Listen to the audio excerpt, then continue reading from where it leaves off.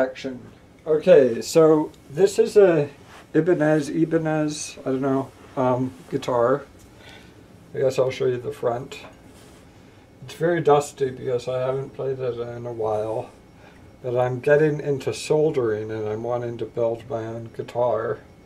So I thought I would look behind, under the hood. This black area here is the hood. Um, I believe this connects the neck to the body, so I'm not going to mess with that. But I believe it's perfectly okay and standard to mess with um, this black area here. So we're going to need a screwdriver and this kit of tools and this is for the screwdrivers. And so these appear to be rather large star shape, or I don't know what the name for it is called. Um, it's not an exact star, it's a, you know, one of those. So I think I will try this. This is what I'm going to try here. This. Okay. And so what we do is we pop it in. And then on the screwdriver, up is right, down is left.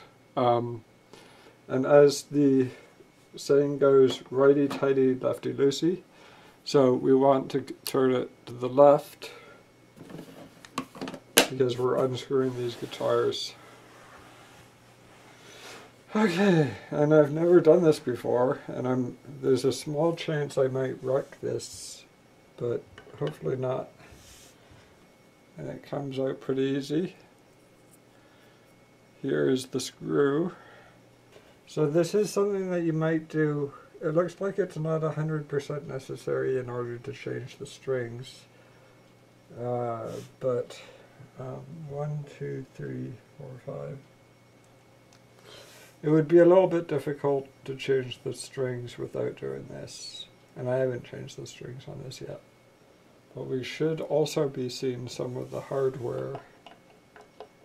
We should be seeing this humbucker, this legendary humbucker or whatever pickup it is called that I will be having to solder. Okay, so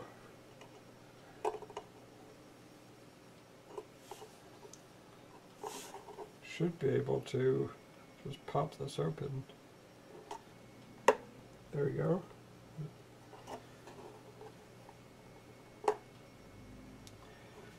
Okay, well, there we go.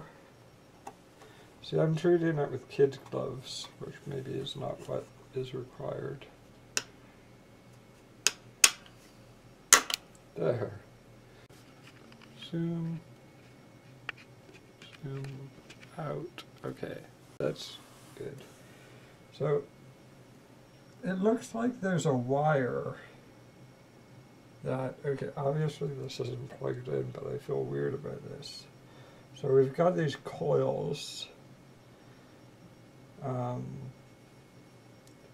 and incidentally, this these holes here are for replacing the strings. But we've got these coils, and then we have a wire that goes beneath this. It looks like basically what the deal is is you these things here are the pickups. They pick up the set, they pick up the vibration and send it to the amp. So basically, you put these on top, and then a wire goes through the body, um, and then out here, and this is probably not true with all models, but you then um, solder it, I can definitely tell that's a piece of soldering. Just solder it down to that, whatever it is, that uh, I don't understand how it works, but that's how it is. So that let me that gave some insight. And I will put this back on. So let's hope we can put it on.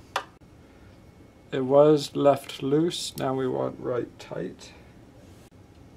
Hmm. Well this is this is not going back on. Maybe it's upside down actually. This. We have a little chip there.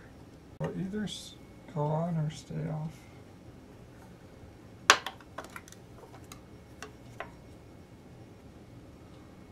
No.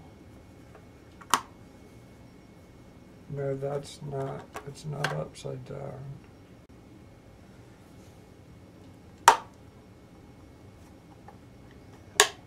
There we go. No, now it's nice and good.